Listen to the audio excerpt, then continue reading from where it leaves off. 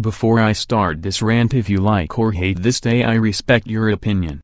Anyways let's get started oh my god December 3rd 2019 this day was the worst ever now let me tell you a story about why this was the worst day ever in my opinion.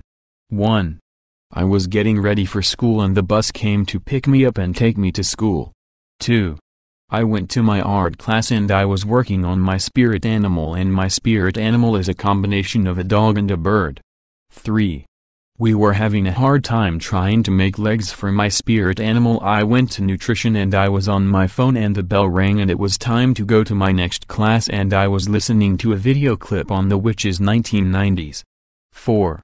I went to lunch and I had a tuna sandwich and I went up to my chips and clips group for lunch and we were watching videos and I was showing my video that I did on Thanksgiving break. 5. And it was time to go to my last class of the day. But the good news is that my computer got fixed. And I just had to make a few changes on my slides for my senior project. 6. Then it was time to go home.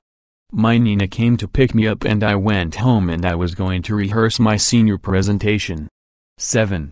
When I was going to practice my senior slides I realized I don't have my paper so my teacher is going to give me the paper tomorrow.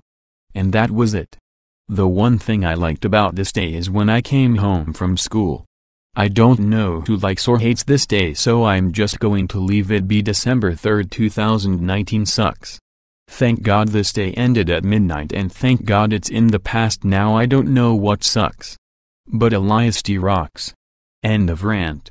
Plus it was freezing cold.